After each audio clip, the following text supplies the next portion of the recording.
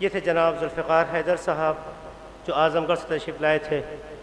آپ نے ان کی گفتگو میں دونوں پہلو فضیلت کے عنوان سے بھی اور مصیبت کے عنوان سے بھی سماعت فرمائے۔ آپ کے حضور میں میں یہ بات کہنا چاہوں گا کہ وہ تمام حضرات جنہوں نے مقالے کے عنوان سے کچھ باتیں آپ کے سامنے رکھی ہیں اور ایک جملہ جو میں نے بیچ میں نقل کیا تھا کہ مقالے کی تقدیر قسمت چھپنا ہے، سننا نہیں ہے۔ تو الحمدللہ مؤمنین بنارس نے اس عنوان کو دونوں پہلو دے دیے کہ خلاصہ سن لیا ہے، تفصیل چھپ چکے گی۔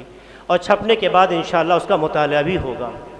تو جو حضرات مقالہ لکھ کر لائے ہیں یا انشاءاللہ مقالے انہیں لکھنے ہیں، اس کو انشاءاللہ یہاں پر جمع کرا دیں۔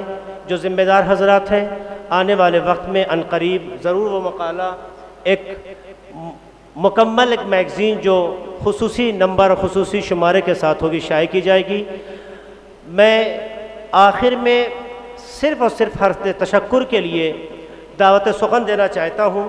عالی جناب مولانا سید محمد عقیل صاحب عال جواد العلماء کو کہ وہ تشریف لائیں اور حرف تشکر کے عنوان سے آپ سے مخاطب ہوں۔ ایک سلوات سے آپ ان کا استقبال فرمائیں۔ حاضرین کرام السلام علیکم۔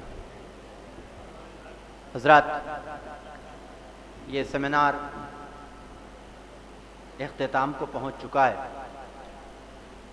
اور واقعاً وقت بڑا محدود تھا اور تقریباً پندرہ سولہ مقررین نے اپنی باتیں آپ کے سامنے رکھی اور دس دس منٹ سب کو دیا گیا واقعاً وقت اتنا مختصر تھا کہ جس میں صرف اور صرف ٹائٹل پڑھا جا سکتا تھا۔ سرخی پڑھی جا سکتی تھی، پوری بات نہیں بیان کی جا سکتی تھی۔ اس کے لیے بہرحال تمام مقررین سے ہم معذرت خواہ ہیں۔ اور اس کے ساتھ ساتھ لائق تحسین ہیں اور مبارکباد ہیں۔ بنارس کے مومنین کہ جنہوں نے یہاں شرکت کی ہے۔ بنارس کی خصوصیت یہ رہی ہے اور جو لوگ بنارس کے بارے میں جانتے ہیں، انہیں پتہ ہوگا کہ بنارس ایک کاروباری شہر ہے، ایک بزنس سٹی ہے۔ یہاں بیٹھی ہوئی اکثریت کہ جس کی فرد فرد کو ہم پہچانتے ہیں فردن فردن ہر ایک کو جانتے ہیں، یہ بھی پتا ہے کہ وہ کیا کرتا ہے۔ تو یہاں اکثریت ایسی ہے کہ جو آفس میں جانے والے کم ہیں اور تجارت کرنے والے اور بزنس کرنے والے لوگ زیادہ ہیں۔